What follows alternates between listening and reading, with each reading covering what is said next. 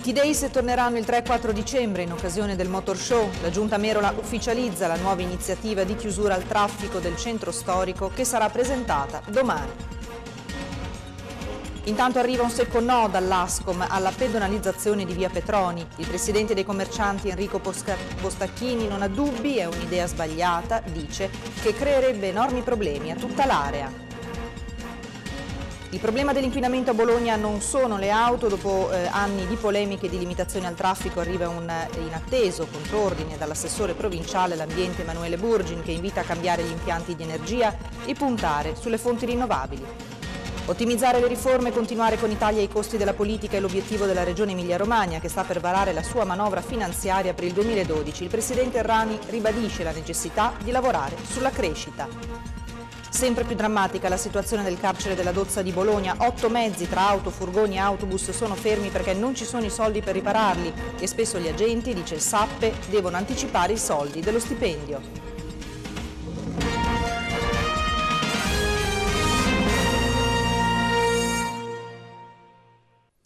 Buonasera dalla redazione di ETG, lo avete sentito dai titoli, questa sera apriamo il nostro telegiornale con la viabilità, torniamo a parlare dei T-Day, infatti ritornano, ovvero sia il blocco eh, di, eh, del traffico nel centro storico della città nei weekend che torna eh, nella T, dunque via Indipendenza, via Ugo Bassi e via Rizzoli, dunque il 3 e il 4 dicembre ci sarà questo blocco al traffico in concomitanza del Motor Show. La notizia è stata ufficializzata pubblicata oggi, però solamente domani ci saranno eh, i dettagli. Intanto andiamo a vedere un'anticipazione con Simona Iannessa. I T-Day torneranno nel weekend del 3-4 dicembre in concomitanza con il Motor Show. L'ufficializzazione è arrivata nel pomeriggio, la pedonalizzazione dunque prosegue e nel centro storico prima o dopo si andrà a piedi. Parola di Andrea Colombo, assessore comunale al traffico e alla mobilità, che non torna sui suoi passi e annuncia la convocazione a breve di una consultazione cittadina propedeutica alla chiusura alle auto originariamente prevista per la fine dell'estate.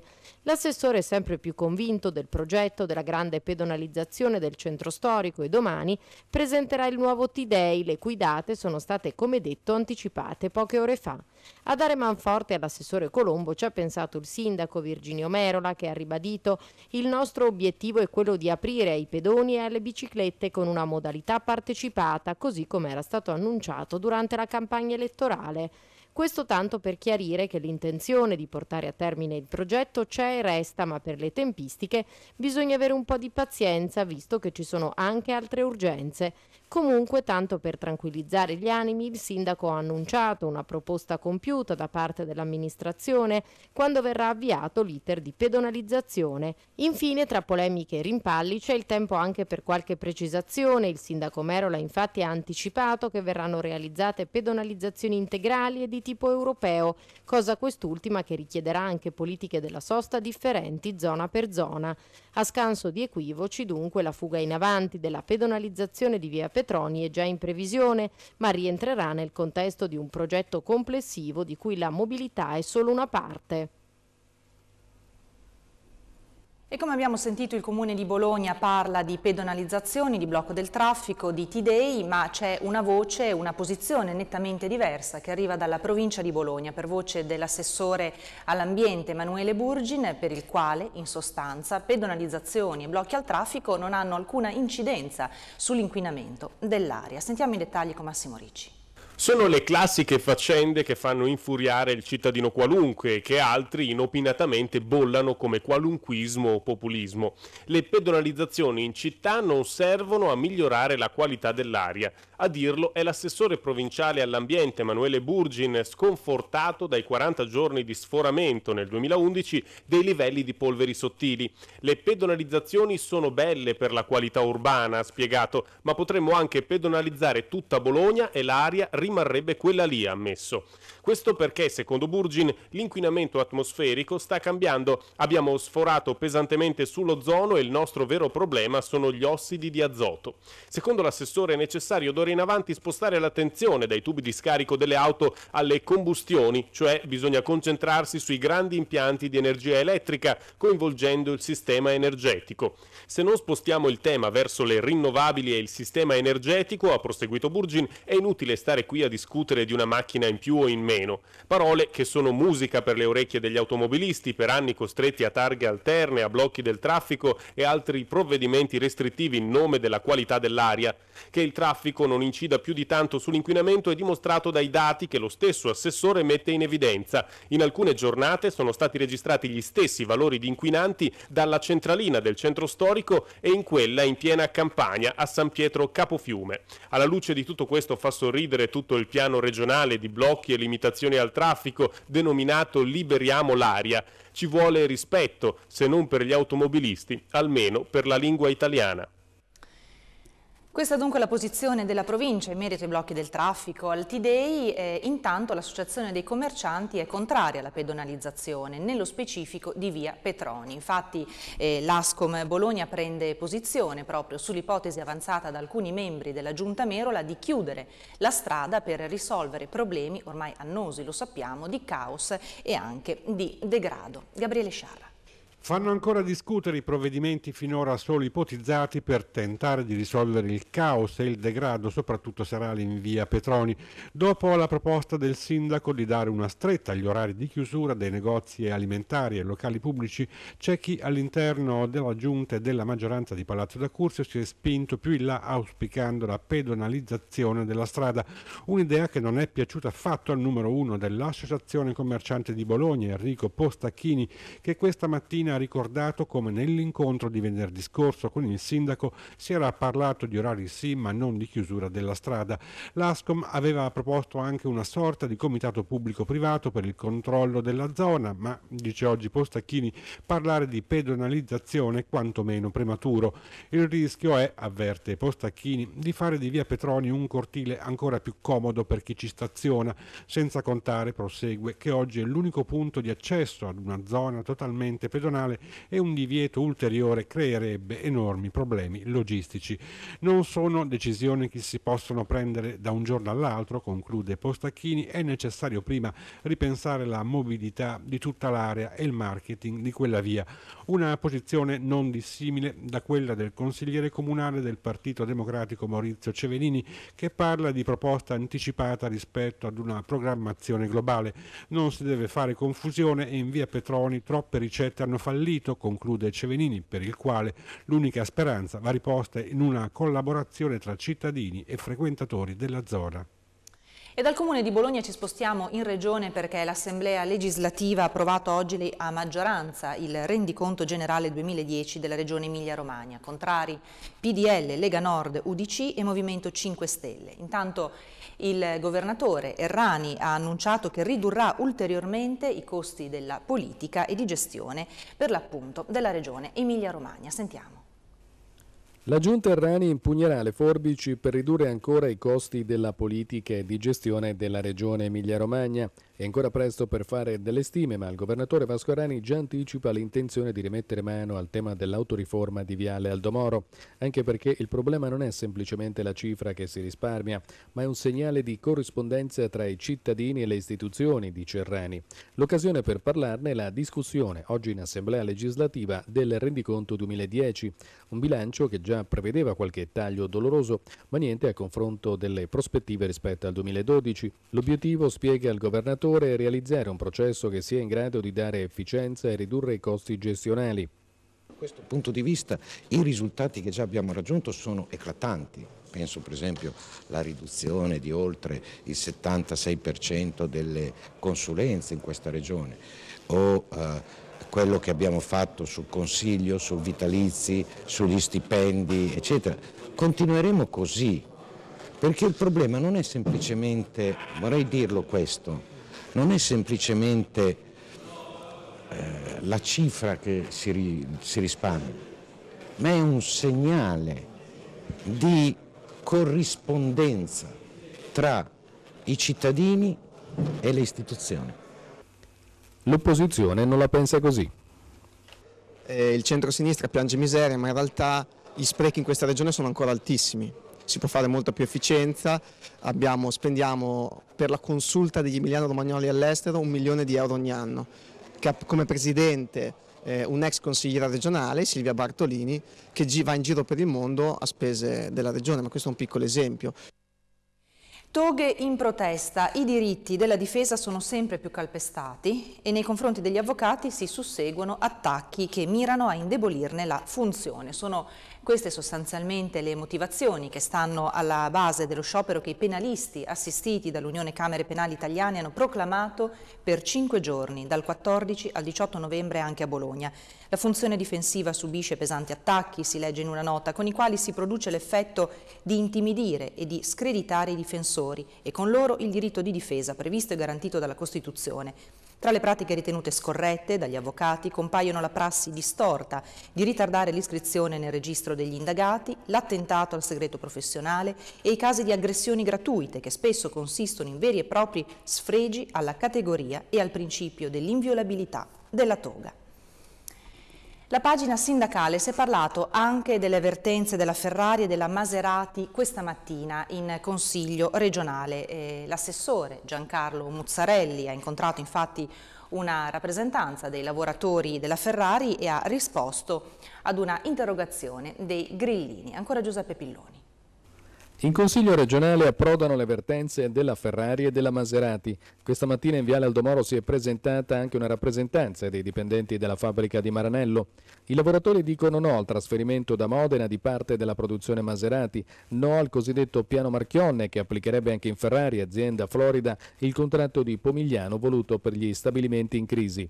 L'assessore regionale alle attività produttive Giancarlo Muzzarelli ha incontrato i lavoratori e ha risposto in aula ad un'interrogazione presentata dai grillini e ho detto che io ho già scritto due lettere per capire meglio che cosa sta succedendo all'interno di Maserati, qual è il progetto futuro eh, di quella straordinaria casa automobilistica e ho intrecciato ovviamente il ragionamento anche per quanto riguarda la Ferrari. Il nostro obiettivo è far capire ai leader del sistema Fiat che Modena, l'Emilia Romagna la Via Emilia sono un brand straordinario. Le auto più belle del mondo si fanno qui e qui ci sono le condizioni per continuare per la flessibilità, per la subfornitura, per le condizioni di alta qualità del lavoro della nostra regione quindi credo che bisogna ripartire da qui, da questa dinamicità, dal buon bilancio che la Ferrari ha presentato in questi giorni e far capire che da qui con il rispetto del lavoro e con la forza del lavoro della nostra regione ci sono le condizioni per continuare a costruire auto di eccellenza e stare sui mercati internazionali. È una grande sfida ma va capita, va valorizzata, sostenuta e l'Emilia Romagna in campo per dare questo contributo. La situazione è ancora estremamente nebulosa perché sostanzialmente la Fiat non si presenta ai tavoli, non risponde alle lettere come abbiamo imparato anche oggi di Muzzarelli e quindi la preoccupazione per i lavoratori è massima. Credo che oggi siamo riusciti a portare un po' la ribalta a questo caso e a destare l'attenzione anche dell'assessore, la porteremo anche in commissione con un'apposita risoluzione.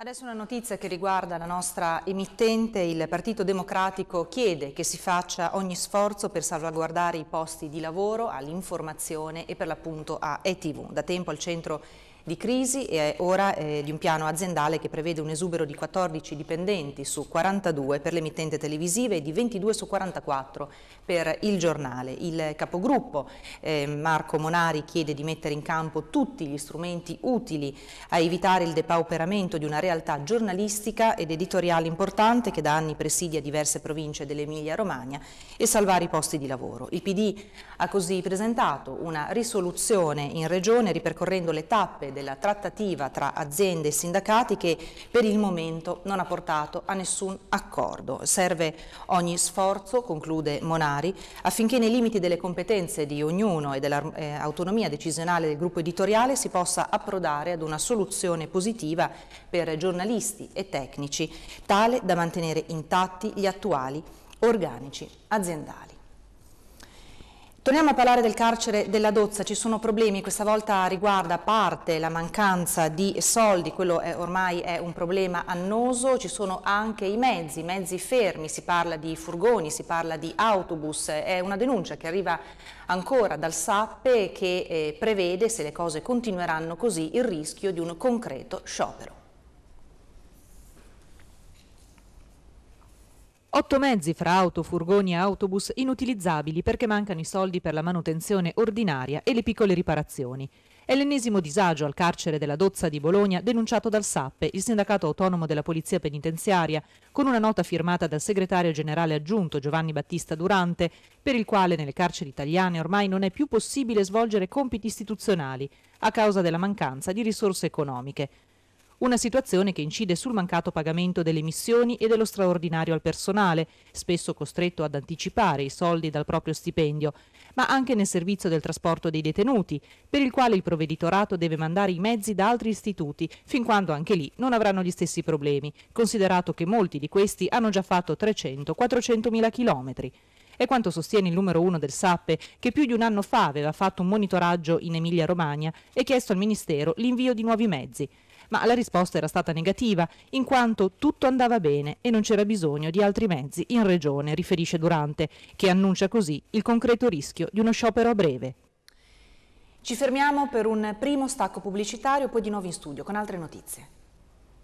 Di nuovo in studio con NTG, tra pochissimo parleremo di spettacolo, prima però andiamo a vedere i titoli principali di oggi, il nostro telegiornale si è aperto con la viabilità, i T-Days torneranno il 3 e 4 dicembre in occasione del Motor Show, la Giunta Merola ufficializza la nuova iniziativa di chiusura al traffico del centro storico che sarà presentata domani.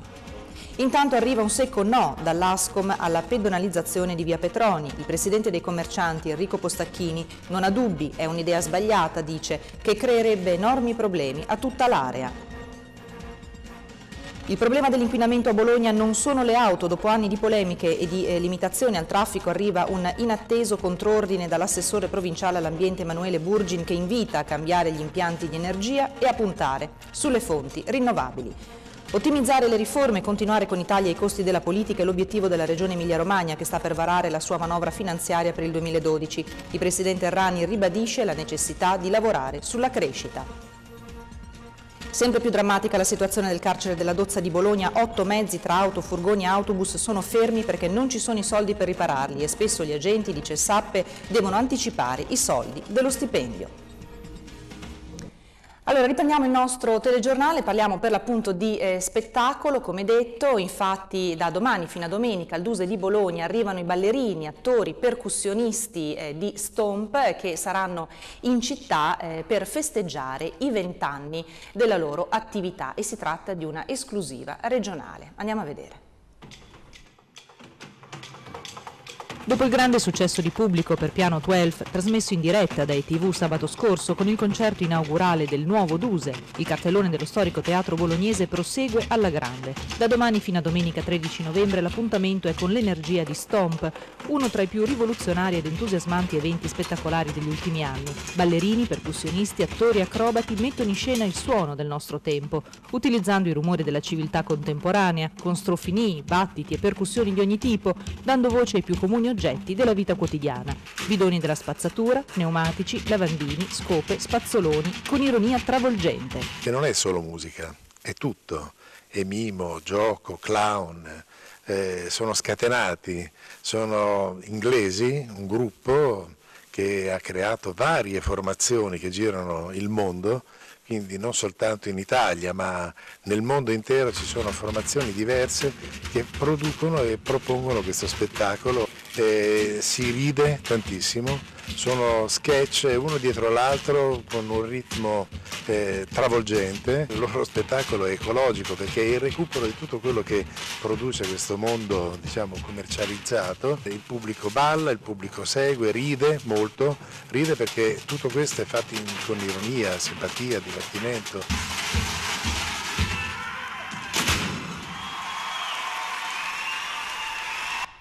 E vi ricordo anche che questa sera alle 21 saremo in diretta con il pallone gonfiato dal Teatro di San Pietro in Casale, come sempre con Alberto Bortolotti e con i suoi ospiti. Ci fermiamo ancora qualche minuto, restate con noi.